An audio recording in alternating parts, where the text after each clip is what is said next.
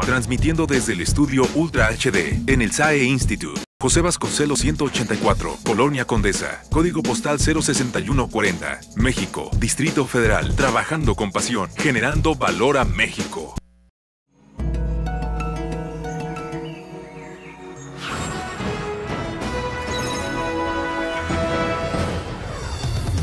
Ultra Noticias con Javier Solórzano, periodismo que genera valor a México.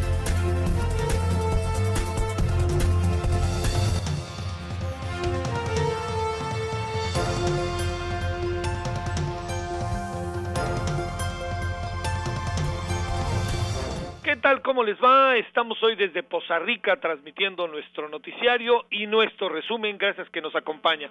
Esta tarde eh, tuvimos, eh, bueno, primero una revisión sobre algunos asuntos aquí de Poza Rica y también tuvimos la oportunidad de conversar con eh, Elvira Arellano. Elvira Arellano es un personaje extraordinario, migrante que viene acompañando a las eh, muchas madres que andan buscando a sus hijos, centroamericanas que han desaparecido, migrantes que han desaparecido. Y también tuvimos eh, este día una conversación con Shulamit Goldsmith. ¿Quién es Shulamit Goldsmith? Es, Goldsmith es eh, la pareja, los últimos 17 años de su vida, más menos, de Miguel Ángel Ganado Chapa, que ya está cumpliendo años de muerto eh, y que está presentando, por cierto, se está presentando su último libro, que ahora sí es su último libro, inevitablemente, sobre Manuel Buendía, que el periódico Reforma hace 15 días en su suplemento Enfoque ya había sacado parte de él. Bueno, vámonos con el resumen, agradeciéndole que esté con nosotros. Buenas noches, ya lo sabe, KWTV, javiersolorzano.com, el Ultravisión, que es nuestro centro, y por supuesto California Cable Más. Gracias. Aquí está el resumen pasó este día. Le comento que promueve Enrique Peña Nieto en Londres su reforma hacendaria. En un avance de información le comento que en su sexto día de gira por Europa, el presidente electo de México, Enrique Peña Nieto, fue recibido por el primer ministro británico David Cameron, en donde también estuvieron algunos manifestantes del movimiento Yo Soy 132. Posteriormente, el presidente electo se reunió con empresarios londinenses en donde defendió su reforma fiscal, que a la par de la laboral y la energética pretende, dice, transformar el país. En otro orden de ideas, también déjeme le comento un adelanto que esta mañana el presidente de la República, Felipe Calderón Hinojosa, promulgó la Ley para la Prevención e Identificación de Operaciones con Recursos de Procedencia Ilícita, conocida también como la Ley contra el Lavado de Dinero. Los detalles de esta información se la voy a dar a presentar más adelante. Déjeme le comento también en este resumen de información que pues eh, Alejandra Giselle Guzmán Salazar, presunta hija del líder del cártel de Sinaloa, Joaquín El Chapo Guzmán, fue detenida en la garita de San Isidro, acusada de fraude, uso indebido de visas, permisos y otros documentos oficiales. Guzmán Salazar alertó a las autoridades estadounidenses que su padre, ella fue la que dijo que su padre era el Chapo Guzmán.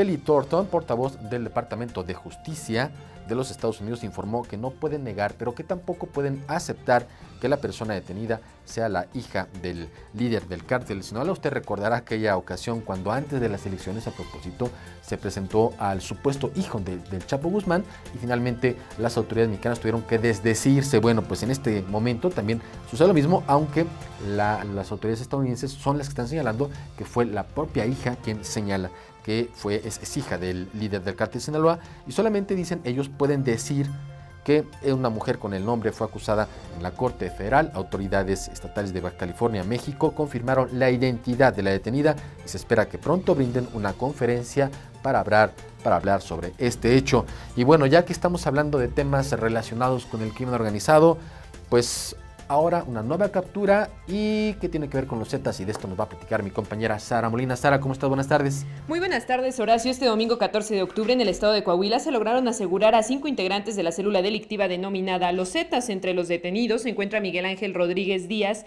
alias el Alfa Metro, quien se desempeñaba como jefe regional de las ciudades de Piedras Negras, Ciudad Acuña y cinco manantiales Coahuila. Las aprehensiones se efectuaron en tres acciones distintas. La primera se realizó el domingo por la mañana y consecutivamente en la tarde-noche. En total se les fueron aseguradas cinco armas cortas, tres armas largas, una granada de fragmentación, dos cohetes RPG, 2.376 cartuchos útiles de diversos calibres, 29 cargadores para armas de fuego, 12 paquetes contenido presunta cocaína, 11 kilogramas de presunta marihuana, así como 2.373.200 pesos y más de 120 mil dólares americanos, Horacio.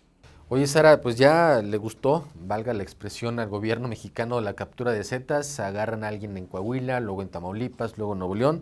Y bueno, pues eh, a, reserva de, la confirmación, por supuesto, de que esta persona detenida es la hija del Chapo Guzmán, que bueno, es en Estados Unidos, sigue siendo la mata, la de los Zetas, Sara.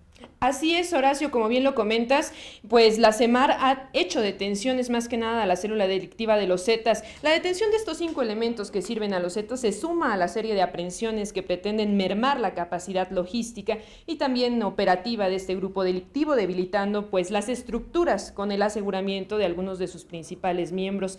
Como recordarás el caso de Juan Carlos Morales González y o Rubén Acosta Ibarra, que se hacía llamar el Peluches, él era presunto jefe de Plaza de Piedras Negras, y su detención se realizó el 9 de septiembre. Y bueno, se suma a lo que es la detención del talibán, de la ardilla y pues al abatimiento del líder de esta célula delictiva, Heriberto Lascano Lascano.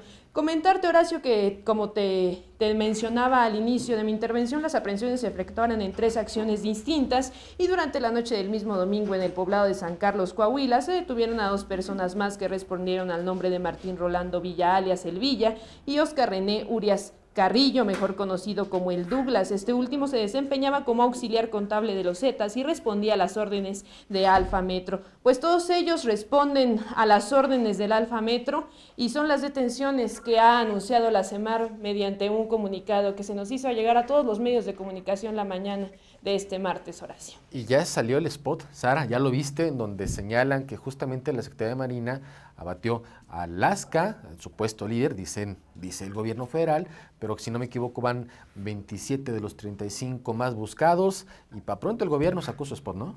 Así es, Horacio. Este cierre del sexenio de Felipe Calderón Hinojosa, pues les está cerrando con broche de oro con las detenciones de capos muy reconocidos, en especial, como lo comentábamos, de la célula delictiva de los Zetas. Tal pareciera que el cártel de Sinaloa y a otras células delictivas son intocables, sin embargo, en días anteriores, pues se realizaron detenciones a pesar de que fueron en los niveles jerárquicos más básicos. Hasta aquí la información, Horacio. Sara, muchas gracias. Buenas tardes. A ti, Horacio. Buenas tardes. Bueno, vamos a cambiar el orden de las ideas. Vamos a platicar ahora de fenómenos meteorológicos. Fíjese que, pues, en eh, el, famoso huracán Paul ya subió la categoría, pero esto nos lo va a informar mi compañero Germán Medrano desde eh, Baja California. Germán, ¿cómo estás? Buenas tardes.